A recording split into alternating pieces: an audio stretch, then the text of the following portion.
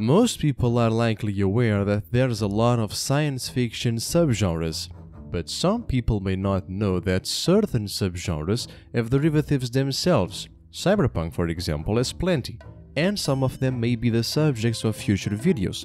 But today we'll be focusing on one that's commonly thought of as being a cyberpunk derivative steampunk.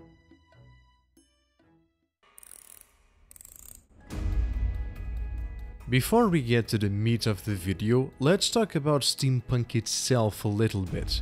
Much like cyberpunk, steampunk is also surprisingly old, whereas cyberpunk has its roots beside science fiction in things like film noir, the hard-boiled detective, etc. Steampunk was influenced by 19th century science fiction, namely the works of Jules Verne, H.G. Wells, and a few others. Unfortunately for the genre, steampunk never had its own Blade Runner, nor Blade Runner moment, which means it's still lacking a far-reaching popularity when compared to cyberpunk. Another thing that seems to prevent steampunk from picking up steam is a big lack of definition. Let me tell you what I mean by that by comparing steampunk and cyberpunk. Cyberpunk has very well defined elements.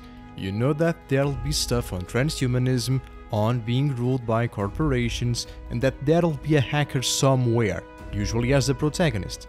Steampunk is a lot looser, and it's no wonder that it's often hard to recognize something as truly steampunk.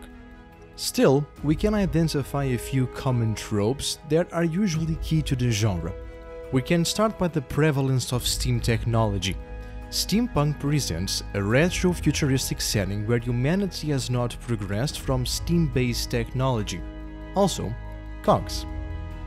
Steampunk isn't exactly tied to a period in history, but it usually is from a cultural perspective. Victorian-era class and economic structures are regulars in steampunk. Lastly, and this is a funny one, steampunk is usually not that dark. The hero is often venturous, and there's a less morally ambiguous system than in Cyberpunk with its anti-heroes and dystopic setting. Besides these, there are other things that are fairly common and that expand on steampunk. After all, steampunk has plenty of derivatives itself, some more famous, some less so, but that too is a topic for another video. So, what about steampunk in gaming? Let's get one thing out of the way first. There is no AAA super famous successful, let's call it pure steampunk game. There are a few games that are predominantly about steampunk and then a lot of games that have many references to it. Starting with the 90s, the Chaos Engine and its sequel were some of the earliest steampunk games. There are a couple of other games like Myst and its sequel, but I'd say a bigger reference of the 90s is Thief, the Dark Project.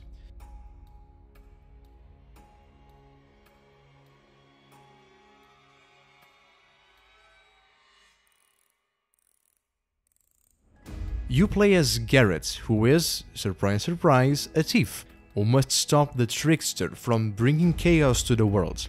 Thief was also a pioneer of the stealth genre, being the first game to use light and sound as game mechanics. As a side note, 1998 was a pretty big year for stealth games, with other classics like Tenchu and Metal Gear Solid. Going back to Thief, remember how it can be tough to classify something as steampunk? Well, Thief isn't exactly steampunk. In fact, it's one of the earliest examples of one of its derivatives, a genre called gaslamp fantasy. It isn't set in the Victorian era, nor is there much of an emphasis on steam. Still, it's one of the better known steampunk games of this period, with most references coming from the occasional anachronistic tool you find along the way. Thief 2, launching two years later in 2000, would expand on the steampunk elements and is regarded as one of the best steampunk-ish games to this day. The 2000s began rather well for steampunk. Besides Thief 2, Arcanum of Steamworks and Magick Obscura is another significant game of the time.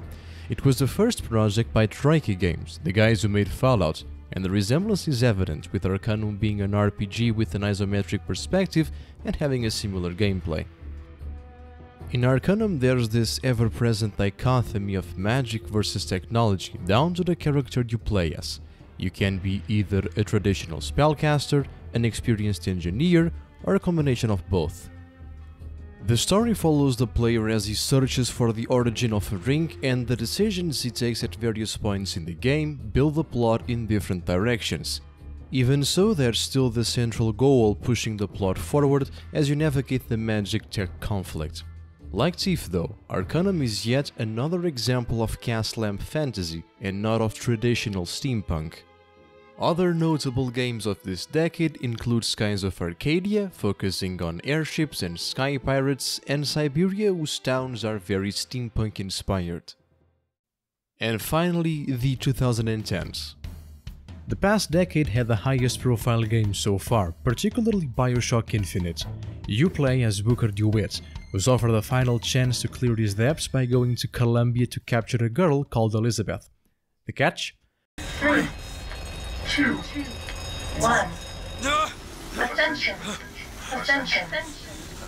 Just stay calm. 5,000 feet. 10,000 feet. 15,000 feet. Hallelujah.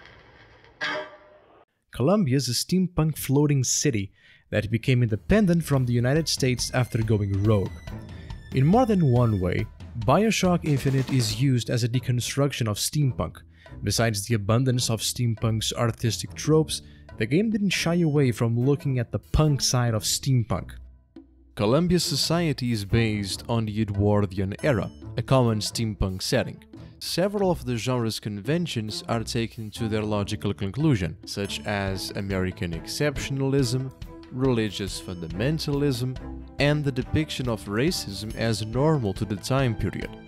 This all ties into a well-crafted package about self-loathing, free will, and hope.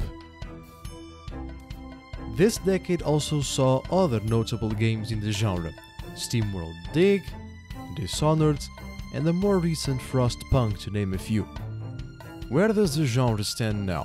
As said in the beginning, it still hasn't had a bestseller, but it is gaining popularity and upcoming games like Firmament, Volcanoids, and Iron Harvest are keeping it alive. Who knows? We may hear about that blockbuster sooner rather than later. Thanks for watching, I hope you've enjoyed it. If you did, you may want to check the previous video on Cyberpunk. You can also join me on Twitch slash arditestt. I do stream every Monday, Wednesday, Friday and Saturday. Links are in the description. See you in the next video everyone.